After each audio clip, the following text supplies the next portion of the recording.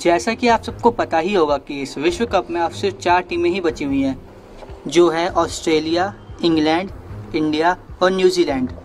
और कल भारत की टीम का न्यूजीलैंड से मैच होगा, जो कि सेमीफाइनल मैच होगा, और जो इस मैच में जीतेगा वही आगे फाइनल में जाएगा। एक्सपर्ट्स की माने तो यह मैच दोनों टीमों के लिए अहम है, क्योंकि दोनों टीम टक्कर की हैं, जिसकी वजह से शायद कल के मैच में भारत के लिए बैटिंग और फील्डिंग में काफ़ी मुश्किलों का सामना करना पड़ सकता है। लेकिन पाकिस्तान के पूर्व खिलाड़ी शोएब अख्तर ने इस मैच से जुड़ी एक ऐसी बात भारत को लेकर बोली है, जिसकी वजह से शायद पाकिस्तानी फैंस उससे थोड़ा सा खफा हो। पाकिस्तान के पूर्व क्रिकेटर शोएब अख्तर का यूट्यूब पर एक चैनल है, जिस पर वो अपने होने वाले मैच और हो चुके मैचों पर अपनी राय और प्रतिक्रिया देते हैं। ऐसे ही कल के होने वाले मैच के लिए भारतीय टीम को एक छोटा सा मैसेज दिया है, जिसमें उन्होंने कहा है कि वो चाहते हैं कि इस बार का वर्ल्ड कप भारत जीते और वो इस समय भारतीय टीम को सपोर्ट कर रहे हैं।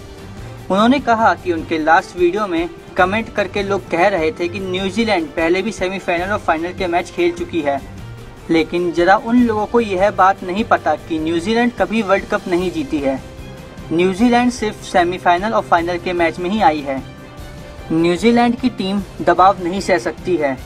मुझे उम्मीद है कि वह इस बार चौकर साबित नहीं होंगे। लेकिन वास्तव में मैं चाहता हूँ कि विश्व कप उप महाद्वीप में आए। इसके लिए मैं भारत का समर्थन करूँगा। उन्होंने रोहित की बल्लेबाजी को लेकर भी बात कही और कहा कि रोहित की टाइमिंग और शॉट चैन बेहतरीन है। खेल की प्रति उनकी समझ लाजवाब है।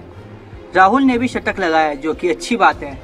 रोहित ने आखिरी मैच, जो कि श्रीलंका के विरुद्ध खेला गया था, उसमें भी रोहित ने अपना शतक बनाया था, जो कि भारतीय टीम के लिए काफ़ी अच्छी बात है।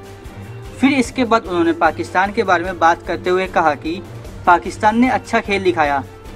वास्तव में मुझे लगा कि टीम सेमीफाइनल में जगह बना लेगी, लेकिन नेट रन रेट काफ़ी निर्दयी चीज़ है, जिसकी वजह से उन्हें सेमीफाइनल से बाहर होना पड़ा।